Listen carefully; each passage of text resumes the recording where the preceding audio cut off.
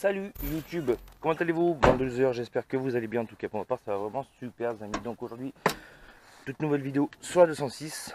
Voilà, comme vous pouvez le voir, je viens de lui trouver, euh, par le biais d'un ami, des jantes Ouragan 16 pouces montées en Michelin, dont deux pas loin du neuf et deux qui seront à changer dans pas longtemps. Voilà, donc j'ai pris tout le matos euh, pour monter tout ça. Donc là on est sur mon petit terrain que vous connaissez déjà, hein, où il y a eu la Safran, la 206, la 309, etc. On va monter tout ça. J'ai la clé à choc de chez Lidl, mon cric professionnel, j'ai tout ce qu'il me faut pour faire le taf. On va faire ça. Je vais en profiter pour lui mettre un petit coup de propre de peinture haute température et, et de repeindre tout ça en rouge sur les tambours arrière. C'est ce que je fais habituellement sur mes 206. Enfin sur les deux que j'ai eu, qui avaient des tambours à l'arrière. C'est ce que j'avais fait. Voilà. Donc elle est toujours là. 206. Elle roule. Je viens de lui mettre un petit poste euh, un peu plus moderne. Où je vais pouvoir... Euh, où, je peux en tout cas mettre des clés USB. Donc voilà. Bon, j'installe tout ça et on se retrouve tout de suite. Toujours avant de monter votre véhicule sur un cric. Toujours desserrer les roues au préalable. Parce que, bien entendu, comme vous pouvez vous en douter, une fois qu'elle sera en l'air, vous aurez du mal à dévisser les petits trous. Voilà. Donc, on va prendre notre clé à choc avec notre embout à une main. On va essayer de faire ça bien, malgré tout. Hop, voilà. Normalement, doit être en dévissage.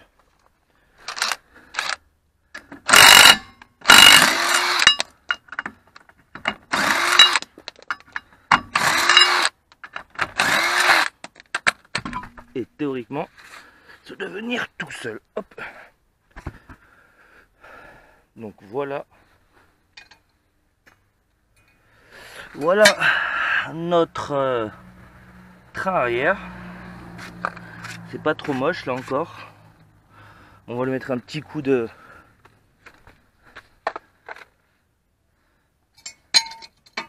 Je vais vous poser là. La chandelle va bien me servir du coup.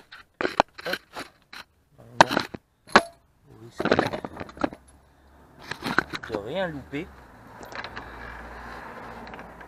Je vais lui mettre un petit coup de... Ah, non, attendez. J'ai mal fait. Ah d'accord. J'ai mal vissé le, le bout de la perceuse. Hop, voilà.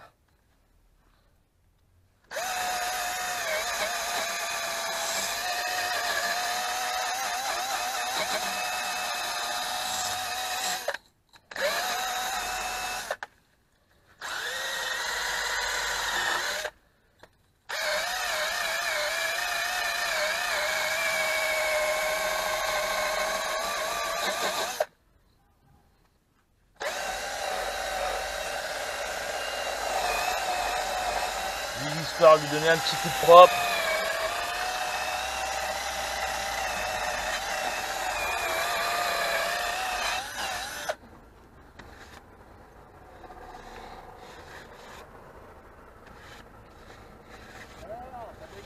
Bah écoutez, ouais, faut bien, hein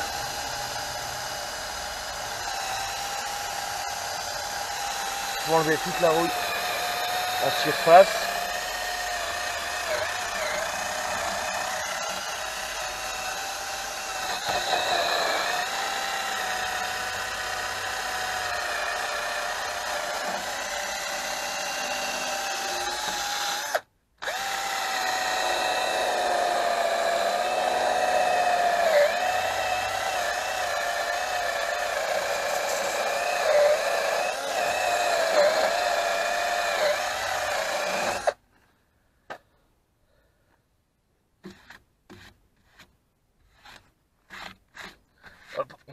bien.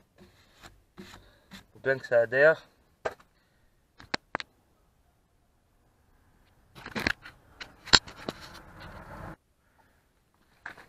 Après un bon coup de posage et un première couche de peinture noire haute température, on, a, on retrouve ça. Je vais faire pareil de l'autre côté. Ensuite, on va mettre la couche de rouge directement. Donc voilà. Donc au préalable, j'ai bien entendu dévisser la roue à la main.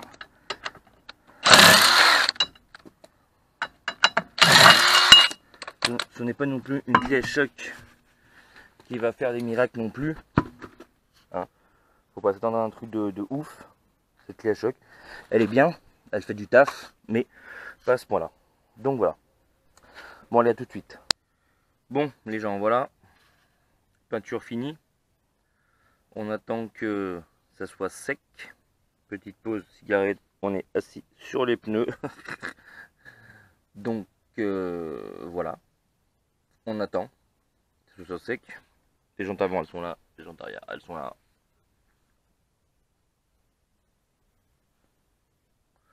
Donc euh, bon, bah, bon les gens, voilà, jantes montées.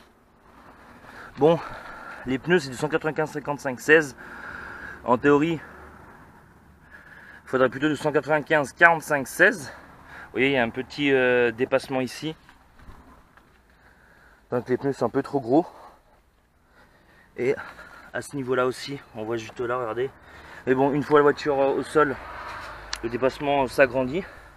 Donc on voit le rendu des tambours rouges est plutôt correct. Donc là, on va s'attaquer à l'avant. Les pneus en même dimension. du coup, ça va me permettre de regarder les disques, ils sont un peu flingués. Et au niveau des plaquettes, plaquettes avant à changer.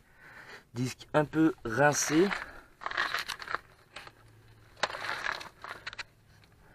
Les biellettes sont complètement rincées, comme vous pouvez le voir juste à, la tête là. Les billettes vont être à changer.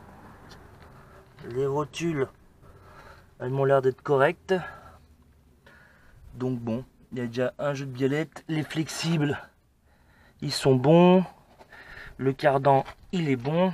Plus ça fait pas de bruit, donc du coup, on est plutôt pas mal. Bon, il y a un peu d'huile. Donc on peut dire qu'on est plutôt pas mal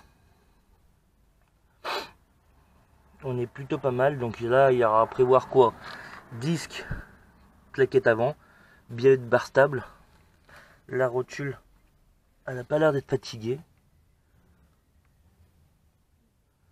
Bon, je pense que le prix ça coûte une rotule, on va pas chipoter, on va les faire. Flexible, c'est bon. Donc je pense de ce côté, on a fait le tour. On va monter la jante.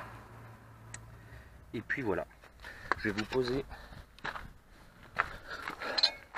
juste là, normalement. Ça devrait être bon.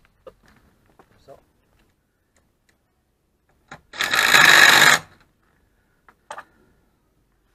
Donc je vous récupère. Donc passage de roue c'est bon. Au niveau de l'amortisseur, on est un bon. On est bon. Ça touche, il n'y a rien qui touche. À l'arrière, comme vous pouvez le voir, on est comme même assez limite, mais ça va pas poser de problème on va voir.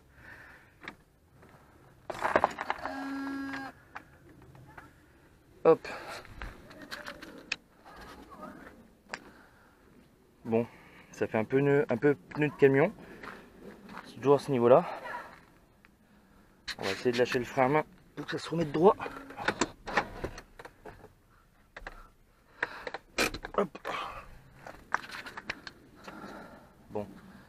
Là, ça s'est remis un peu droit.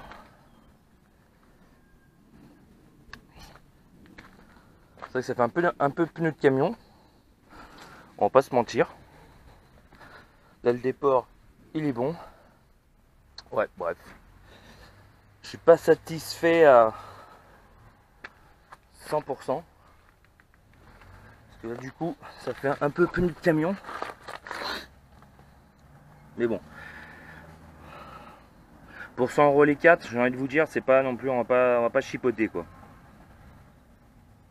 Enfin bref, je monte de côté, on se retrouve à la fin. Bon les gars, voilà, résultat fait. Montage de jantes 16 pouces en 195 55 16 sur une 206 1 litre 4 HD phase 2. Donc comme vous pouvez le constater, le rendu fait plutôt un peu camion. Il faudrait plutôt des pneus taille basse en 195 45 16. C'était la dimension que je montais moi sur ma 206 à l'époque, qui est homologué aussi pour le contrôle technique. Donc bon, résultat plutôt satisfaisant au niveau de l'ensemble. Hein. Les, gens, j'ai payé 100 euros les 4 en sachant que les deux pneus à l'avant c'est des Michelin, enfin les 4 c'est des Michelin, ils sont neufs. À l'arrière c'est quasiment, euh, ils sont pas loin du, témoin, mais bon, on va dire qu'ils sont encore satisfaisants, ils peuvent encore rouler, vu qu'à l'arrière ça s'use pas. Donc voilà. Voilà les 4 jantes tôle d'origine en 14. Donc à mon avis ça doit être la route secours, j'avais même pas fait attention. Euh, si, si, je crois que j'étais au courant. La route secours, c'est une marque champion. Euh, je pense que champion courrier. Ok. Est-ce qu'il y a marqué l'année de fabrication? Ouais, 12. Ils sont ils étaient fabriqués en 2012 ce pneu. Donc bon, bref. Résultat. Je dirais résultat. Euh, je suis mitigé. Donc au moins j'ai pu démonter l'avant, j'ai pu savoir qu'il y avait disque et plaquettes et biellettes à faire à l'avant et rotules. Donc au moins je sais ce qu'il y a à faire sur le véhicule. Euh, bien entendu il y a une, une cour d'accessoires à faire aussi, plus une bonne révision. Mais bon, on verra plus tard quand les pneus seront HS. Je ne sais pas encore ce que je fais du véhicule. Si le véhicule je le vends une fois retapé. Donc euh, je fais tout ce qu'il y a à faire dessus donc je vous le fais en vidéo. Et ensuite après je le vends, donc je la passe au contrôle, je la vends. Donné que la, voiture, je l'ai acheté, euh, j'ai fait une déclaration d'achat. Donc j'ai pas de carte grise à faire, donc je peux directement la revendre comme ça. donc du coup, avoir des jantes talus comme ça, 16 pouces, c'est toujours un plus. En plus c'est un Nike HDI, donc du coup pour les petits jeunes, c'est intéressant. Donc c'est un véhicule type jeune. Donc euh, du coup, voilà. Bon. J'espère que cette vidéo a été un peu plus carré que d'habitude. J'essaierai de vous faire un montage euh, carré aussi. Euh, ça lui change de look quand même. Hein. Ça lui change de look complètement. Mais bon. Sur ce, on se retrouve très vite pour de nouvelles vidéos. Excusez-moi, je suis carrément dans ma, dans ma banlieue. Sur ce, on se retrouve très, vite pour de nouvelles vidéos.